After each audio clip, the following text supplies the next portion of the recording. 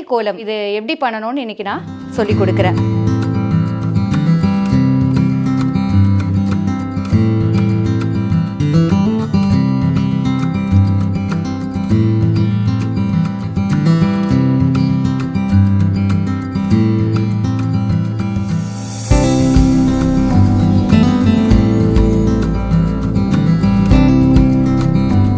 வணக்கம்.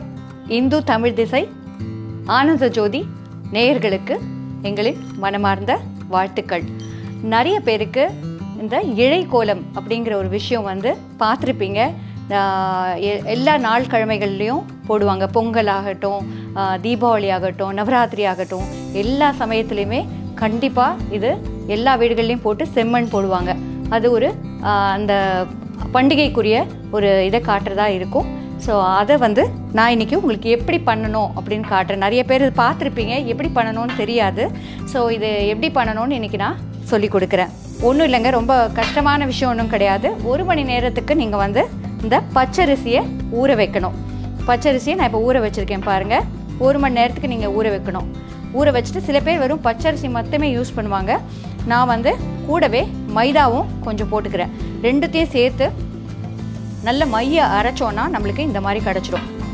ஸோ இதுதான் வந்து இது நல்ல மைய அரைச்சிங்கன்னா இந்த மாதிரி இருக்கும். ஸோ இதில் வந்து நான் ஒரு பஞ்சு போட்டிருக்கேன். இந்த பஞ்சு எதுக்குன்னா இந்த பஞ்சு வச்சு தான் நம்ம இந்த இழைகளை நம்ம போட போகிறோம்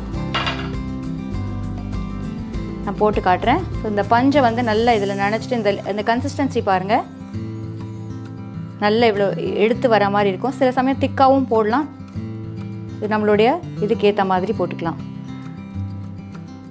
ஸோ இந்த பஞ்சை நம்ம புழிஞ்சு புழிஞ்சு நம்ம என்ன மாதிரி வரையணுமோ அதை வரையலாம்.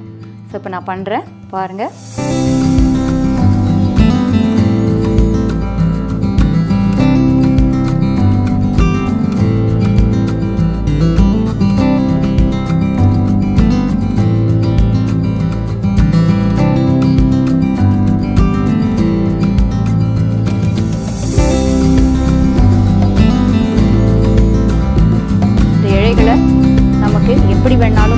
நம்ம இதை இழுக்க முடியும். கொஞ்சம் சின்ன கோலமாக போட்டு காட்டணும்னு நான் இதை போடுறேன்.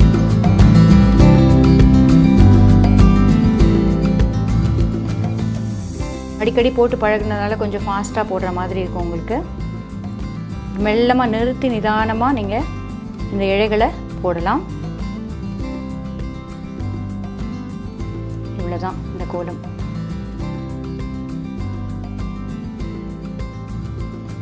இது மைதா சேர்க்காமல் நீங்கள் போடும் பட்சத்தில் சீக்கிரமாகவே அது அந்த ஹீட்டில் உதிர்ந்து வெளியில் வந்துடும் மைதா போட்டிங்கன்னா நாலு நாள் ஆனாலுமே நல்லா இருக்கும். இது இந்த மாதிரி கர்வ் லைன்ஸ் மாத்திரம் இல்லாமல் நம்ம இந்த மாதிரி ஸ்ட்ரெயிட் லைன்ஸும் நம்மளால் போட முடியும். ஸோ ஸ்ட்ரெயிட் லைன்ஸும் நம்மளால் பண்ண முடியும். அதே மாதிரி நம்ம ஒரு புள்ளி கோலங்களையும் இதில் போடலாம்.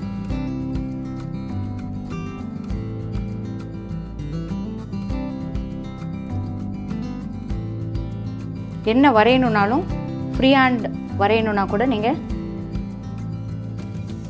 உங்கள் பானையை போட போகிறீங்கன்னா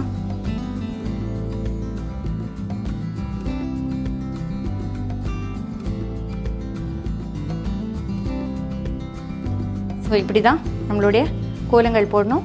எல்லா ஃபெஸ்டிவல்ஸ்க்கும் நம்ம போடுற கோலங்களுக்கு செம்மண் போட்டு நம்ம இந்த மாதிரி பண்ணலாம். இது ஒரு பண்டிகை காலத்தை குறிக்கிறதாகவும் இருக்கும். இந்த செம்மண் போடுற வீட்டில் எல்லாத்துலேயும் அன்றைக்கி பண்டிகை அன்றைக்கி அந்த வீட்டில் விசேஷம் அப்படின்னு நம்ம தெரிஞ்சுக்கலாம். இது ரொம்பவே டிவினிட்டி கொடு கொடுக்கக்கூடியது. இதை சுற்றி நம்ம பூ வைக்கிறதா இருக்கட்டும் விளக்கு ஏற்றி வைக்கிறதா இருக்கட்டும் அதுவும் வந்து ஒரு அழகாக இருக்கும். இது போட்டால் ஒரு ரெண்டு மூணு நாள் கூட அப்படியே இருக்கும் நம்ம சுவாமி இடத்துல. நம்ம ஊருக்கு போக போகிறோம் அப்படின்னா நான் வந்து எப்போவுமே இதை போட்டு வச்சுட்டு போயிடுவேன். ஸோ சுவாமி இடத்துல நம்ம டெய்லி போடல அப்படிங்கிற குறை இல்லாமல் அழகாக இதெல்லாம் பண்ணி வச்சுட்டு பூ வச்சுட்டு விளக்கேற்ற சொல்லிட்டு போயிடுவேன். ஸோ அது வந்து நம்மளுக்கு சுவாமிக்கு எப்போவுமே நம்ம பண்ணி வச்சுட்டு போன மாதிரி இருக்கும். ஸோ எல்லாரும் இதை ட்ரை பண்ணுங்கள் கட்டாயமாக நன்றி வணக்கம்.